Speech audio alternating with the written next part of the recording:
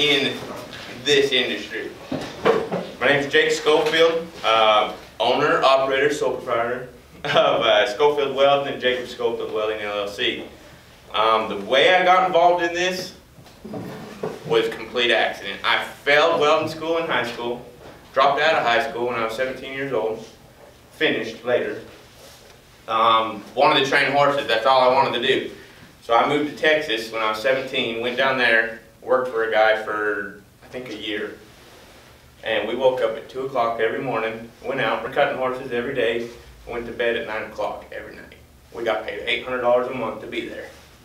So like, I think we added it up, I think it was like 15 cents an hour or something, it was perfect. It worked out great. if you didn't want to do nothing.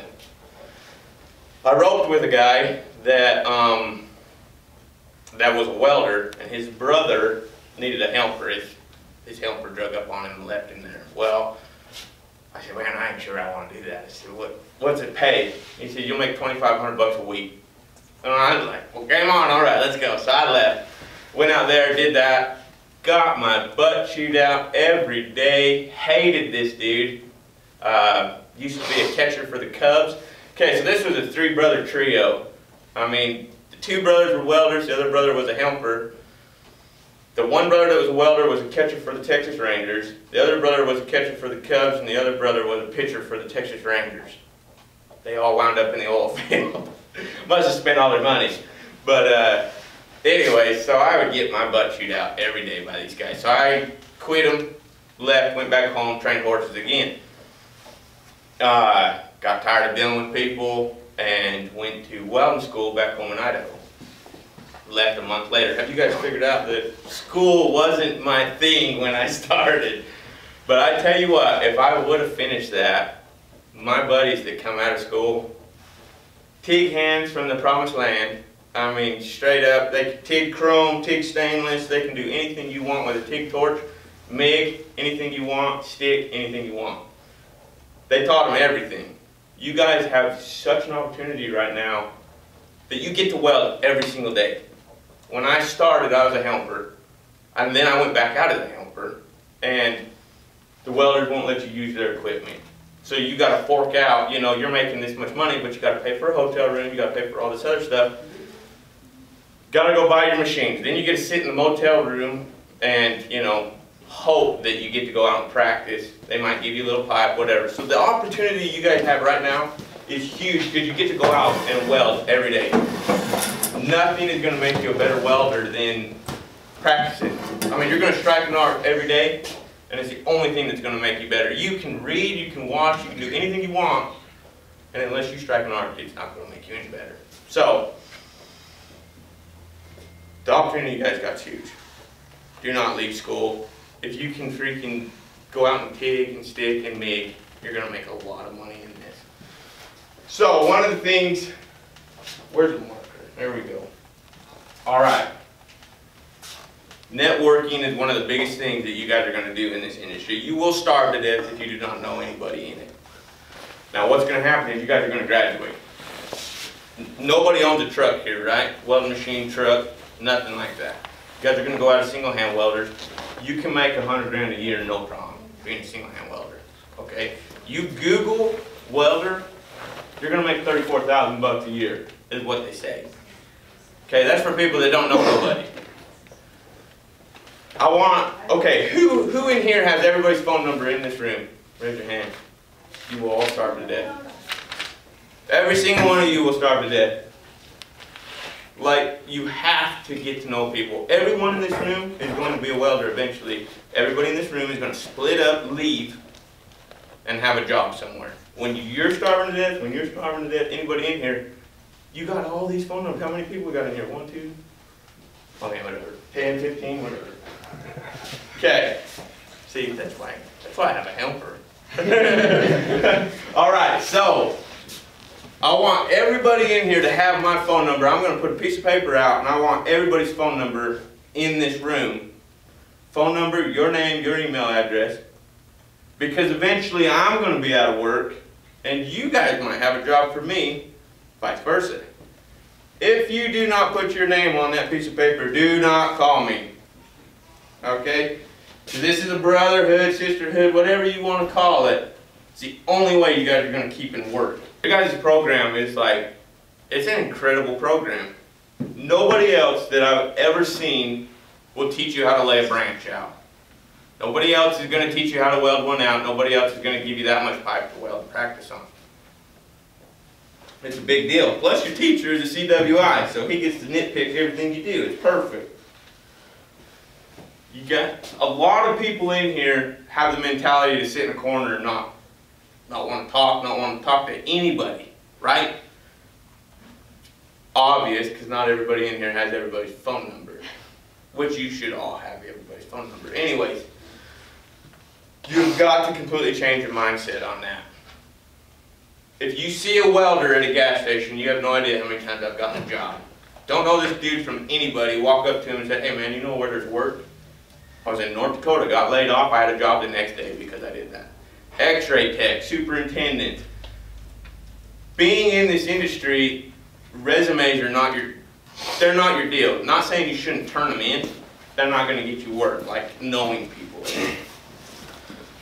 I can turn in 100 resumes, and if I know one superintendent looking for a job, I'm going to work. Those 100 resumes go to the bottom of the list every week, and they're going to just keep turning in resumes on top of it. So you gotta know people, you guys. Networking is gonna be number one biggest thing you do. Read. Seriously, like, well, read or watch something that is gonna teach you how to do something. Okay, good. How many of you guys want to learn how to sell something? You're gonna have to. It's one of the biggest things you're gonna do. If you guys ever look up Grant Cardone, I mean, write him down, whatever it takes, look him up 99% of your guys' jobs are going to be won over a phone call. What makes you different than the guy behind you, or this superintendent already knows 100 welders, why does he need to hire you? These are things you guys have to study. How to talk on the phone, how to have a personality on the phone. I mean, if you call, if you get on the phone, you hey, hey man, I, I need a job. You, you got any places for me? Yeah, no. You guys got to learn how to have a personality over a phone call because that's how you're going to get your work. Simple. So you got to study, I mean, cold calls. I know nobody here, I hate calling people on the phone. It drives me nuts. But I've learned how to do it, and it's made me probably a million and a half dollars. So it's something you got to know how to do. Um, Guys, what he's talking about, I mean, a month and a half ago, two months ago, him and I never spoke. mm-hmm. Never spoke on the phone, but taking the initiative to do a little bit of research, find his email address, find his phone number, you know, utilizing the internet for what it's intended for, research, found out who he is, watched his videos, and I started watching his videos, and he would allude to things like hunting and fishing and trapping and things like this. This is all stuff that I'm into, so I'm going, this is gonna be a cakewalk to talk to this dude, Mhm. because we have so much in common. It took one phone call from me, leaving him a message, one phone call from him to me, and boom, talked on the phone that easy, you know? Yeah. So as soon as you make that communication, it became, it became easy. I have people going, how the heck are you getting him to come to Dodge City? Yeah. Well, Off the pheasant hunt, so we're in. But uh, yeah, so you guys, you got to know how to do that stuff. Now on the financial end of this deal, I'm going to tell you, you can make so much freaking money doing this, but you've got to be smart with your money. I'll tell you, in 2015, I lost everything.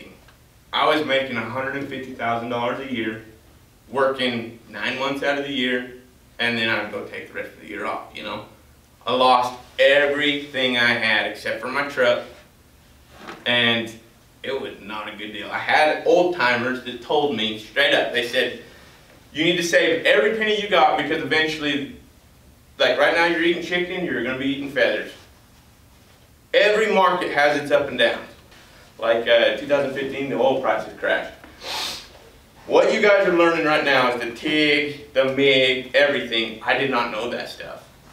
I knew how to downhill weld, that's all I knew how to do. High pressure gas lines, that's what I did. And man, it freaking ate my lunch. I bought a seventeen thousand dollar welding machine, had it custom made, it was built, little SA two hundred, shop, ready to go. Sold that thing for five grand. Just to make sure the bank that I was renting my truck from did not come and get my truck. So you guys have got to think about what you're doing with money. Um, kind of the potential of money that you guys can make. Let me explain how how how an oil company is going to split your guys' checks up. So as single hand welders, you're not going to get rig pay. When you guys buy a truck and you become rig welders, they're going to pay you anywhere from $14 an hour to $18 an hour for your truck. That's more than most people make, and it's just because you own a truck. Okay? So it's called split check. On the last job I worked, we got $45 an hour, $15 a day, I mean $15 an hour on my truck, and then $150 per diem. This is your living money. All right, so in a day, I mean, let's just say that's a hundred bucks. Man, math's not my biggest thing. That's why I use calculator. so we got zero, one, four, five, six, seventy bucks, right? Seventy dollars an hour to go work. I mean, that's is it? You shaking your head? Did I do my math right? All right. Okay, so seventy bucks an hour.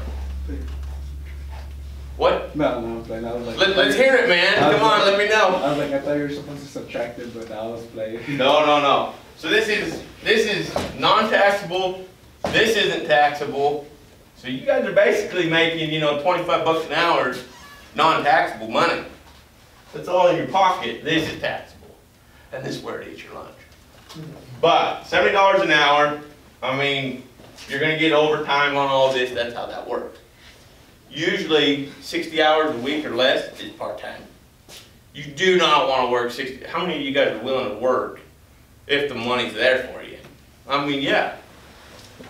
So let me tell you, and this isn't bragging, I'm just giving you guys an idea on what you can make. Last weekend, they were in a bind for welders. I made $2,000 for two days worth of work. And I made maybe 15 welds, okay? The money is out there if you guys will just go get it, but it's knowing people. I can promise you that if you do not know enough people, you will not make this kind of money. Okay, now this is called a split check. This is when you're an employee for the company. what I'm doing right now is I'm a contractor. I make seventy dollars an hour straight. So sometimes it works better to be split check, sometimes it doesn't. But on the last job I was on, I made hundred and ten dollars an hour for being there. You gotta supply everything on this, you don't have to supply anything on this. So that's kind of you guys' money end of it. Anybody have questions? Do you get per diem as well as being on, as a contractor, correct? Sometimes, sometimes. On the job I'm on right now, I do not.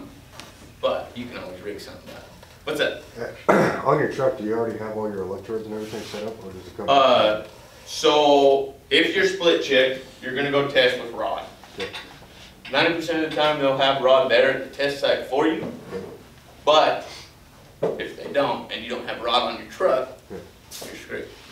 So, split check, they're gonna provide everything for you, oxygen bottles, acetylene, all your rod, all your consumables, everything. On this, you're gonna wanna call ahead, figure out what rod you're using, go buy it, and then you're gonna go test. You gotta provide everything consumable wise for this. Most of the time. Sometimes, like, there's some companies that'll provide everything. They'll pay you straight contract because they don't wanna deal with the tax end of it.